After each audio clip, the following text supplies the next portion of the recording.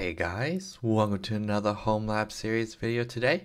In today's video, we'll be showing you how you can set up Gitea, which is kind of like, you know, like your GitHub or your GitLab, um, but a pretty like smaller version, kind of if you don't want like a huge footprint of, you know, all the extra features, you just want a Git repository to be used. Um, this is something that you could just easily set up with a Docker container and spin it up very quickly to host all your repositories that you need. So we'll show you how to install that and have some fun. So let's get started.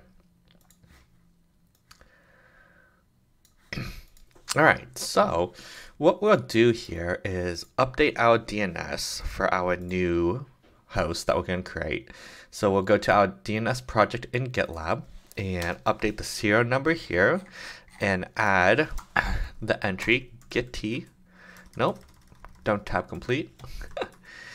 in a and we'll set it to be 83 here, not 983, 83 and we'll commit that change. So add Gitea And that should be good. Next, what we need to do is, because we're going to create the new VM via our uh, AWX, we want to make sure we add this into our inventory on our Ansible playbooks project here. So let's make sure we add that, Gitea. And we'll commit that, add Gitea. And then we should be set from a repository standpoint of things that we would need to update. Now we'll go to our AWX dashboard um, from our AWX server and log in. And from here, we will run our create new VM and patch it, install Docker, create the certs, and set up the proxy. So we'll launch template here.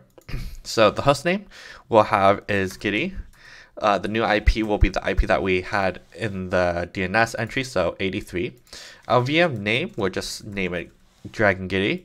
And then our proxy address. So what we'll do here is go to Gitea Docker on the install, install with Docker. Um, we can look through our the Docker Compose where port 3000 is probably going to be our best bet here. So we'll do HTTP localhost 3000.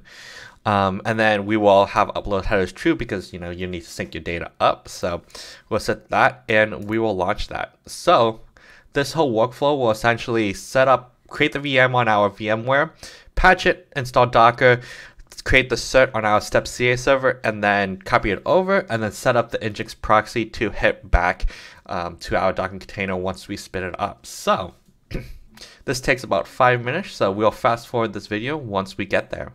All right, now that it has finished the whole pipeline, um, we can now go and actually log into our service. So we'll log in to gitea.dragon.local.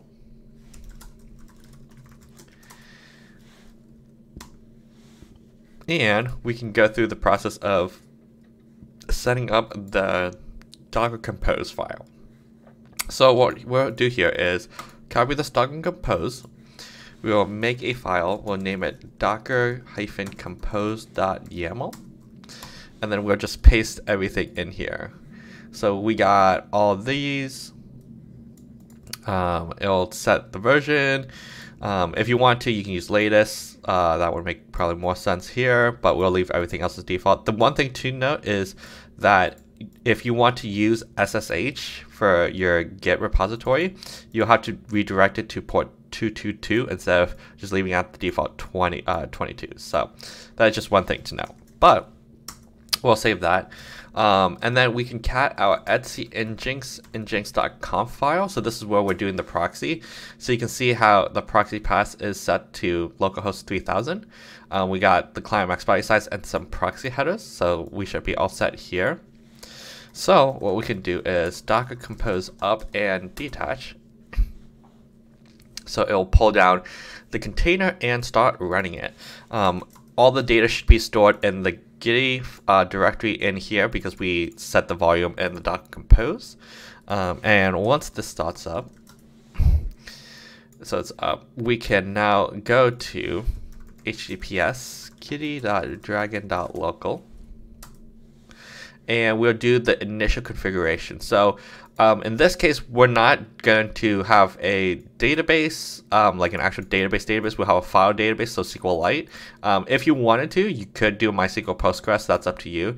Um, but just for demoing purposes of just how to get started real quick, um, we're just going to use a SQLite. You can pretty much leave everything as default. You can enter the company name, um, but anything in slash data will be copied over for your volume stuff. So we want to leave those as is. Um, and then you got the port. So this this you still want to leave as 2020. Uh, not 2020, uh, 22, sorry. Um, 22, um, because that's what the Docker container is actually listing on. But everything else you can just leave as default here. So we'll install Gitea, and this will only take a few seconds. It's not very big to, to install, so we'll give it a few seconds here.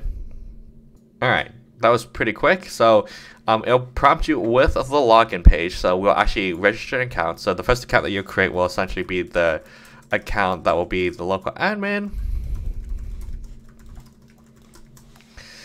And we'll register for it. So you can see that it essentially uh, created my account and logged me in. So this is, I mean, kind of very similar to like your GitHub, GitLab repositories.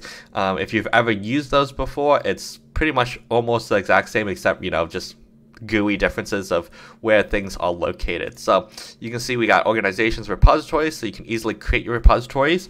Um, and, you know, mark them as private, set templates um, set default branch name. We can just leave everything as default here. Um, so you can see we can do HTTP or we can do SSH. Um, if you do SSH, the one thing to note is you'll probably need to specify the port in this.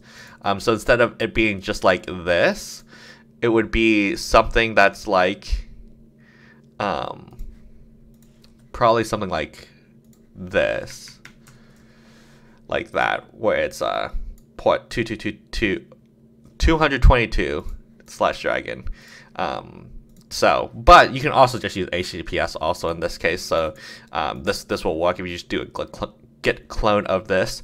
Um, you can also you know create and edit files in here. So like test file one. So like in GitLab you could do this too. Oh, test file. I don't know why I was typing in GitLab. Add commits and changes. So you can still do things in the GUI also. Um, so it's not necessarily just, you know, you, you need to download it locally. Um, but it's essentially your repository. You get your issues, pull requests, packages, projects, releases, wiki, activity, and you can see um, other activities. So if you're just looking for a lightweight um, Git repository, this is something that you can definitely use. So that's pretty much it for this video. So if you enjoyed the video, please leave a like, comment, subscribe, and I'll see you guys in the next video. Bye.